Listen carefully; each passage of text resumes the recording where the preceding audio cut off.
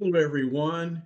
I'm Dr. Rex Butler, professor of church history, recently retired from New Orleans Baptist Theological Seminary. My wife Margie and I now live in Tomball, Texas. We live only a mile and a half away from our grandkids, and that's what retirement is about being close to family. But still, I'm grateful for this opportunity to teach history of Christianity, Reformation to modern, and I'm grateful that you have joined me for this study. I want to review the syllabus so that you can understand the uh, requirements and expectations. But first, I want you to set aside any preconceived ideas that you may have about history. So many of my students say that, oh, they thought that history was boring until they took my class. Well, I have fun as a church historian. I get to dress up as historical characters like St. Nicholas and Martin Luther, literary characters like Gandalf and Professor Dumbledore, and even one of my favorite movie characters, Obi Wan Kenobi. So I hope you see that we're going to have a good time together this semester. Let me share my contact information with you. Uh, my email address is on your syllabus that is posted online. And the very best way that you can contact me is through email, either directly to my account or through Canvas. Either way, uh, I can keep track of our correspondence and respond to you promptly. If you need uh, to call me, please do. My cell number also is uh, is on the syllabus and here on screen. You'll need to call and leave a message, and I'll get back to you as soon as I can. All right. Let's talk about the required textbooks for our class. Uh, the first one is Justo Gonzalez, The Story of Christianity, Volume 2, Reformation to the Present Day. You will enjoy Justo Gonzalez. He is so readable. His textbook is one of the reasons why I fell in love with church history, and I hope that you will enjoy it as well. There are uh, at least two editions of uh, this textbook. You can use the older one or the current one. The other textbook is a document of the Christian church. This is a collection of readings uh, written by the primary sources like Martin Luther, John Calvin, uh, many of the uh, creeds and confessions, and so on. Uh, and again, there are multiple editions you can use. Anyone that is accessible uh, to you. I have tried to uh, arrange the reading schedule so that uh, it's uh, arranged by titles rather than by page numbers so that any edition will work for you. There will be additional required reading from primary sources that are available for free on the internet. And all of this is uh, listed on your uh, syllabus and course schedule. All right. Uh, we use the Canvas learning platform uh, for our online class. And uh, if you're seeing this video, you're already on Canvas, right? Uh, you've been automatically uh, enrolled. Uh, so uh, you'll want to use Canvas and you'll find many helpful features there. First of all, uh, the uh, it's arranged in modules, and the first module says, Welcome, begin here. And so do that. Begin right there uh, at that module. You'll find a welcome from Dr. Jamie Dew, our president. Uh, what a fine person he is. You will enjoy getting to know him even from a distance. So watch his video, and then you'll find a video from your professor. You'll see that I developed this course, and so I provide an introduction uh, to the course for you. And then, of course, this video is an explanation of your syllabus. You'll also find the syllabus and course schedule, which I hope that you will print out and keep close by because you'll need all of those dates uh, in order to keep up with the class. All right, you'll also find a variety of course resources, the style guide, access to the library, uh, news from the seminary, and also an access to the writing center that will help you as you write your assignments.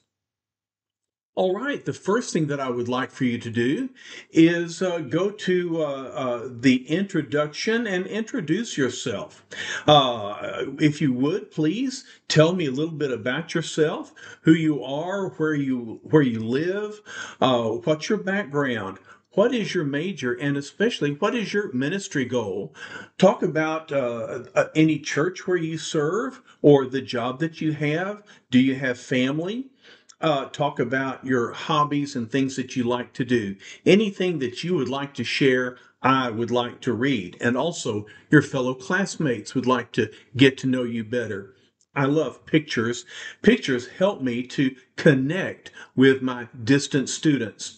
Well, I've already uh, posted some pictures and information about myself maybe more than you want to know.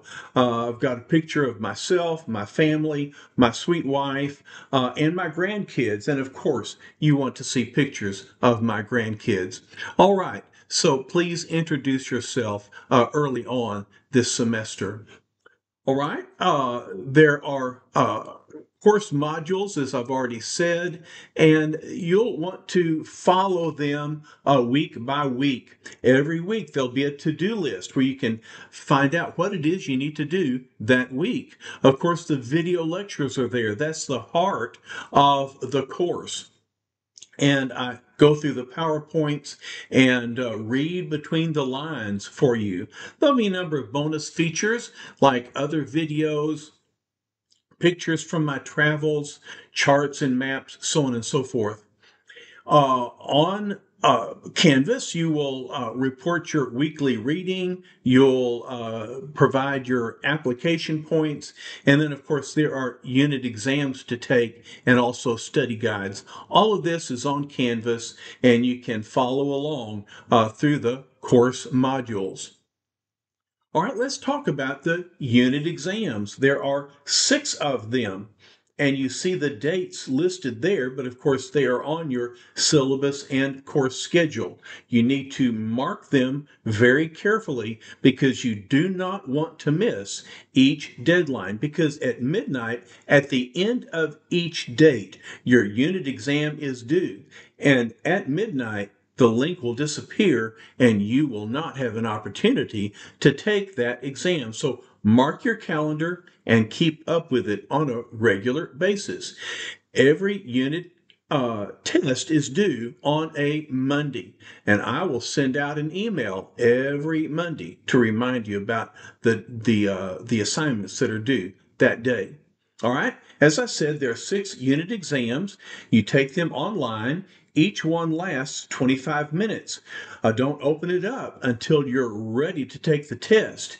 Uh, and then it's going to shut down when the time expires. Now, listen to me. Each test is closed book, closed note, open memory. So please, you're on the honor system, uh, but take these tests uh, based on what you have learned and remember. Now, again, this is very important. The base value of every exam is 25 points. But every exam has two or three or four bonus questions which can increase the value of each exam. Remember, the name bonus comes from the Latin word meaning good. And so these bonus questions are good for you because they give you an opportunity to earn some extra points. All right. Now, again, this is important. The lowest exam grade will be dropped. This is good news. If you forget to take a test, it's okay. if you only do it once, uh, you won't lose any points. If you have computer problems, if you go out of town uh, to lead a D now or a revival, if you go to grandma's house and she's got dial up, that doesn't happen much anymore. Uh, sometimes the uh, older folks have the best technology, but at any rate, uh, if for any reason you cannot take a, an exam, it's going to be okay. Now, at the end of the semester, if you have taken all five exams and are satisfied with those five exam scores, then you can exempt yourself from the sixth. Okay, and so I've designed this class uh, so that you can uh, do well on these tests, and uh, I hope that you'll remember. Again, I'll be reminding you every Monday. All right, reading reports are also an important part of your semester, and you'll report your reading every week. Okay, so if you look at your course schedule, you'll see on the right the readings that are expected for each week. So you get through those. If you read 100%, that's great because then you can just click 100%. You're going to get 2.5 points every week.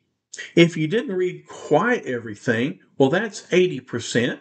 And so that's two points. If it's just over half, it's a point and a half, so on and so forth.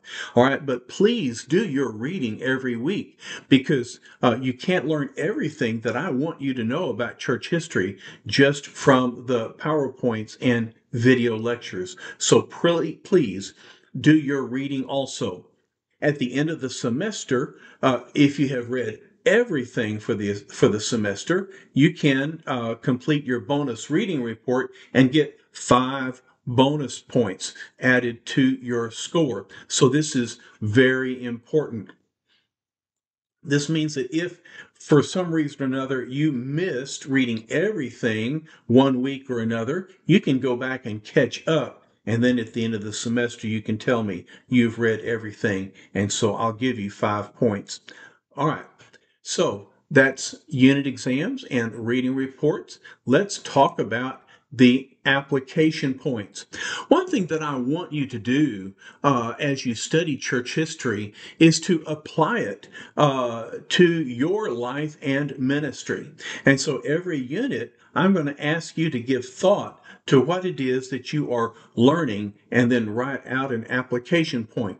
Uh, this could be a sermon illustration, uh, something that happened in your studies that you can tell other people about uh, and enhance your preaching and teaching.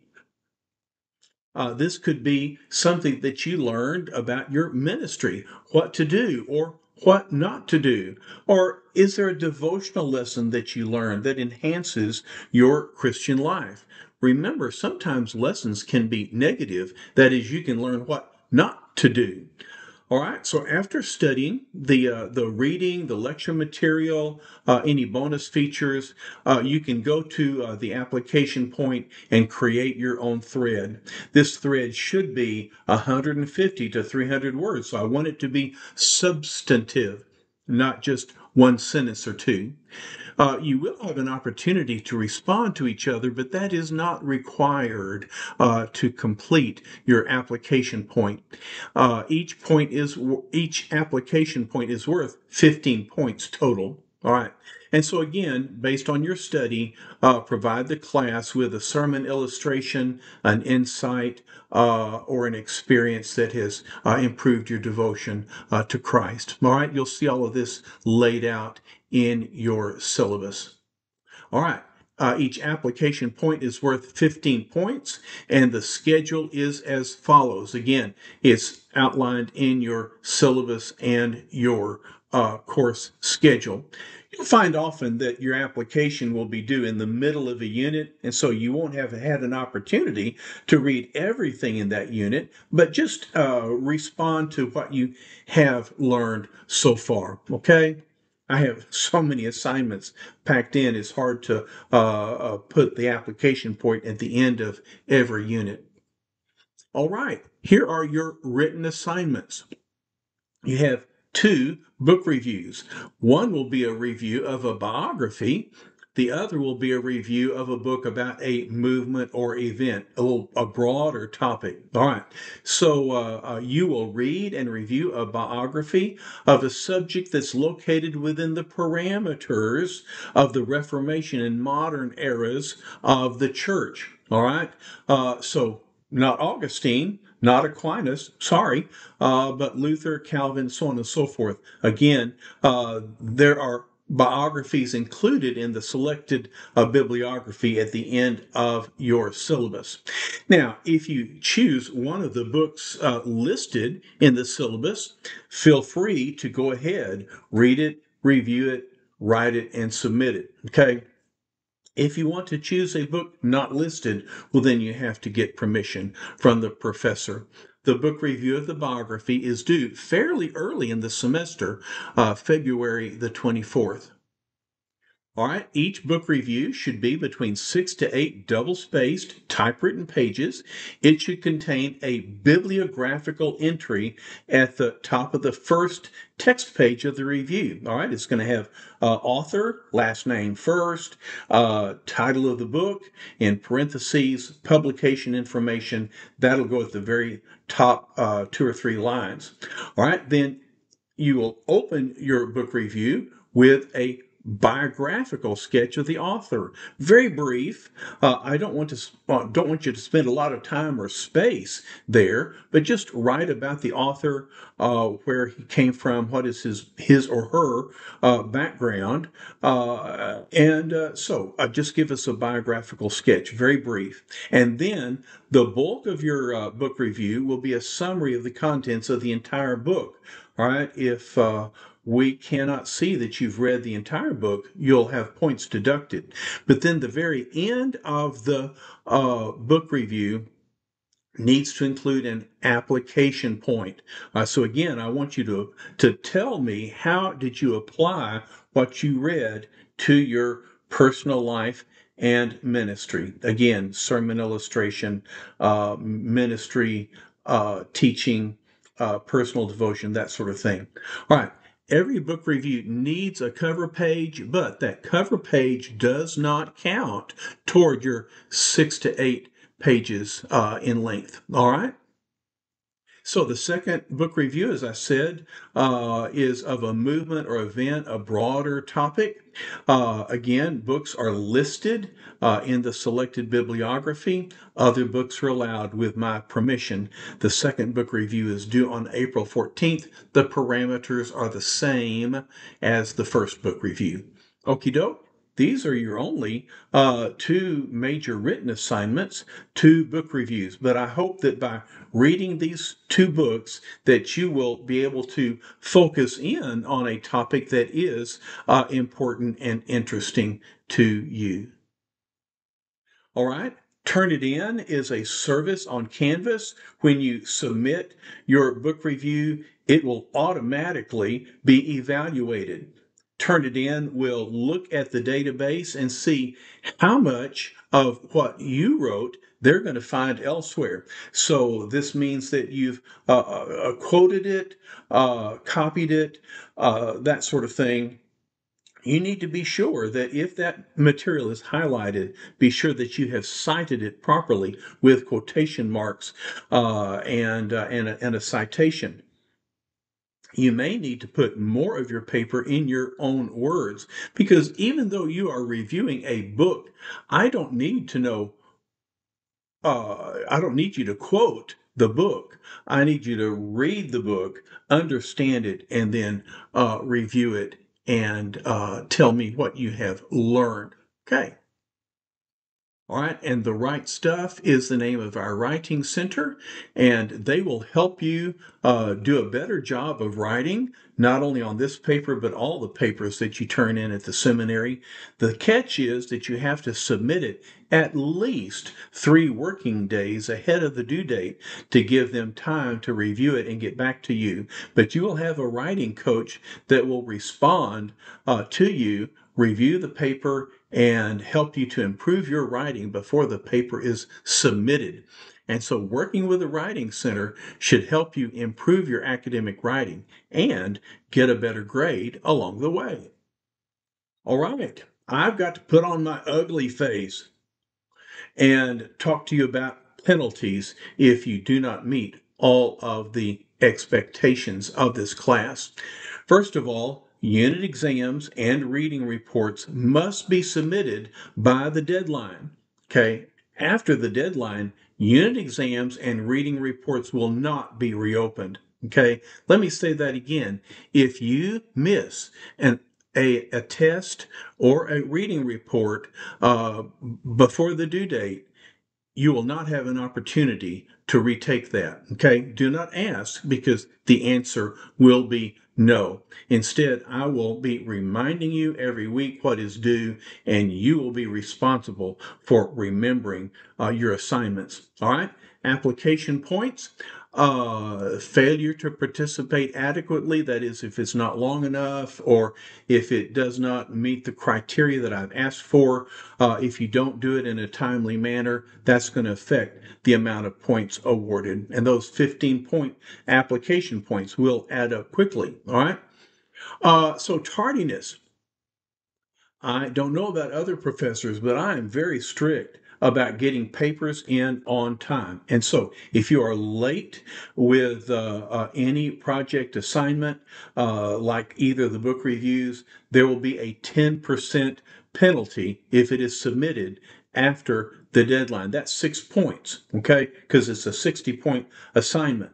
If it's more than five days late, it's doubled. And so you'll lose 20% or 12 points. That's more than a letter grade. And if it's more than a week due, I don't even like to talk about how severe that penalty will be. And so please get your work in on time. All right, let's talk about plagiarism. Uh, New Orleans Baptist Theological Seminary has a high standard of personal integrity expected of our students. And so you should not be copying anybody else's work and presenting it as your own. These days, uh, with AI technology, uh, unfortunately, we find that students are uh, actually letting the computer write their papers. No, that is not a quality learning experience and it is cheating. So, uh, we don't allow that and turn it Turnitin will let me know if you have plagiarized or you if you have used AI. And so there will be uh, severe penalties, failing the assignment or failing the class. All right. So please uh, be honest uh, with your work. All right. Now I can put my happy face back on again and let's talk about uh, how you will be graded in this class. All right. Uh, I've already talked about points that are being awarded. So your reading, if you complete all of your reading, that's a basic 30 points. Remember, you can get five extra points if you read everything for the semester. With the exams, five uh, will be uh, counted toward your final grade. Uh, each one has a base value of 25 points, but if you answer uh, these bonus questions, you can add points there as well. All right, each book review is 60 points. And then if you uh, complete your application points uh, in a timely manner, if, if you're adequate there, then that's 90 points uh, with uh, six times 15 points for each application point. So total of 365 points with the possibility even of more points than that. And so the grading scale is based on the points that you earn with your assignments. So 340 to 365 points is an A. 310 points to 339 points, that's a B, and so on. Uh, now, let me make a prediction. This, I can tell you this based on all the classes that I've taught uh, in the last 17 years over half of you are going to make A's. Out of the other half, most are going to make B's. There'll be a few C's and D's, but if you want to fail my class, you have to work very hard at it. All right? Uh, to fail my class means that you haven't turned in your assignments, or they're late, uh, or you have uh, plagiarized or uh, committed some other infraction, hey, uh, if you do the work, you will make the grade. Okay. And so this class is very doable. There are many elements uh, included in the class uh, syllabus, but each one uh, is is geared toward your learning the maximum amount of information, quality information about church history, and then presenting it in a way that is helpful and meaningful to you.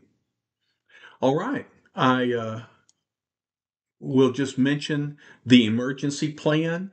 Uh, in the spring, we fortunately are out of uh, out of the hurricane season, but there are other emergencies, and if if there's ever uh, a need for the seminary to close down, uh, you can go to the seminary website nobts.edu for information about the seminary. Uh, you can check Canvas for instructions related to this particular class. All right. And so that wraps up our review of uh, the syllabus for History of Christianity, Reformation to Modern. And so uh, here I am uh, with some of my Reformation buddies. All right, this photo was taken on a trip that I made to Wittenberg, uh, Germany uh, during 2017 for Reformation 500. What a great tour that was. You will see some photos and some videos that, uh, that I took on that trip. I hope it will enhance uh, your study of this period of church history. All right, thanks for following along. Thanks for being a part of my class. Uh, if I can help, uh, please reach out to me. I am here for you, and I want this to be a wonderful experience. So, God bless you. Let's have a great semester.